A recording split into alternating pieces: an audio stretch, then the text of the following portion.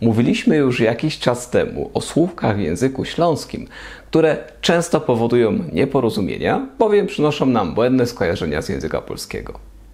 Dzisiaj natomiast chciałbym zwrócić Waszą uwagę na pułapki, które czyhają na nas w śląskiej ortografii, a częściowo także wymowie. Dziś powiem Wam o słowach, których pisownia bywa podstępna i może sprawić Wam kłopot.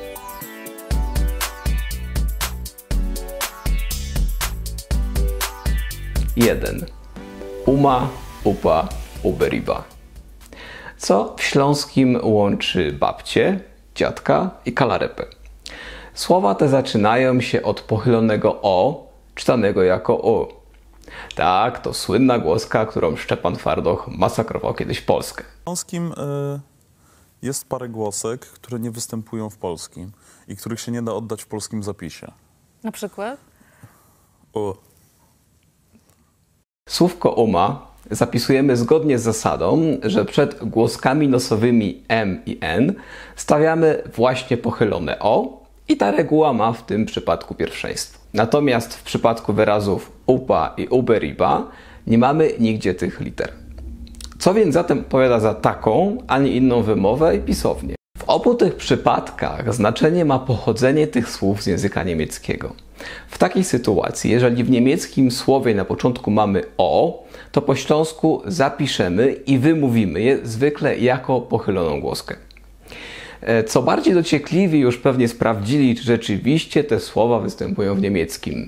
W przypadku upy sprawa jest jasna. To der Opa, czyli nieformalne określenie dziadka. Formalnie powiemy der Großvater. Natomiast kalarepa po niemiecku to der Kohlrabi. Skąd więc wzięła się nasza uberiba? Ano ze staroniemieckiego słówka der Oberribe, używanego także w śląskiej odmianie języka niemieckiego. Co ciekawe, w wolnym tłumaczeniu będzie to górna rzepa, czyli taka, która wystaje ponad powierzchnię Ziemi. Tak więc mówimy i piszemy uma, upa i oberiba, a nie łoma czy oberiba. 2. Buty, drut, biuro. To podchwytliwy zestaw słówek. Co tu robi pochylone o? Przecież ono pojawia się w zapisie zwykle tam, gdzie w języku polskim mamy uzamknięte, na przykład górny, zegródek czy pióro. To jedna z kluczowych zasad śląskiej pisowni. Ale tutaj mamy słówka, które po polsku zapisalibyśmy przez U otwarte. Buty, drut, pióro. A no właśnie, to w języku polskim zapis po drodze uległ zmianie. Wiązało się to z zanikiem wymowy długiego o, które było reprezentowane przez u zamknięte.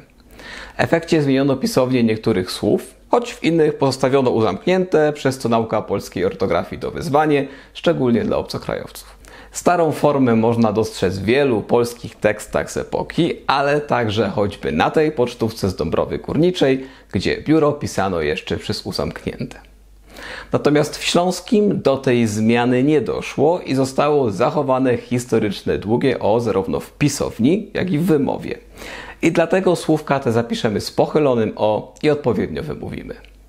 3. Doktor i doktorka. Końcówką, która często pojawia się w nazwach zawodów, zwłaszcza wiążących się z prestiżem, jest końcówka or. Mówimy i piszemy doktor, profesor, rektor. Ale w żeńskiej końcówce owego pochylonego o nie ma i trzeba o tym pamiętać. Ludzi leczą doktor i doktorka. Dzieci uczą rektor i rektorka. A na uczelni wykładają profesor i profesorka. Co więcej, samogłoska o pojawia się w odmianie męskich nazw tych zawodów tylko w mianowniku. Dla przykładu, Alois Siodłok to najlepszy doktor w mieście. Ale bołek dzisiaj u doktora i dostołek trzy dni rewiru. W pozostałych przypadkach poza mianownikiem śląskie pochylone o zmienia się w zwykłe o. Pod filmem znajdziesz link do śląskiej klawiatury, która ułatwi Ci ćwiczenie pisowni. Pamiętaj, by dać nam suba na YouTubie i łapkę w górę. A jeśli chcesz dowiedzieć się więcej o języku śląskim, poznać wszystkie zasady pisowni, ale przede wszystkim nauczyć się go dać, to koniecznie sprawdź nasz wideokurs Śląskiej Gotki Online. Dzięki kursowi nauczysz się ponad 2000 najpopularniejszych słów i zwrotów, a także zyskasz dostęp do 100 stron materiałów edukacyjnych i ćwiczeń. Kurs możesz też podarować w prezencie bliskiej osobie. Wejdź na kursgotki.pl i zacznij naukę już dziś.